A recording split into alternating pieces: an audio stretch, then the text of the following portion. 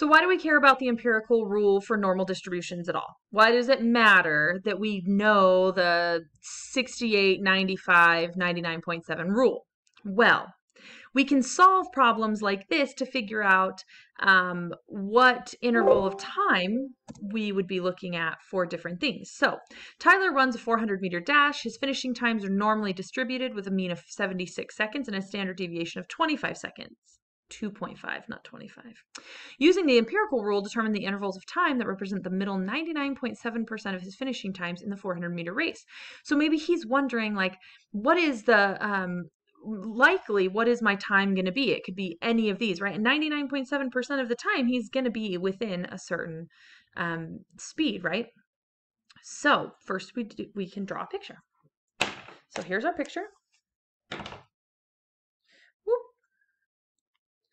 Okay, so we have this picture. Our mean is 76, and our standard deviation is 2.5, which means 2.5 um, seconds this way is going to be one standard deviation away, and then another 2.5 seconds and another 2.5 seconds. So this is one standard deviation. What these notations are, this means mu, this is the mean, right? This is a Greek letter mu. It means the mean.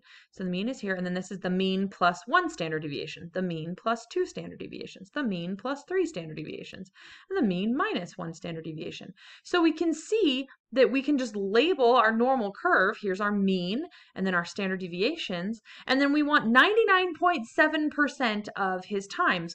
Well, one standard deviation is 68%, two standard deviations is 95%, and three is 99.7%.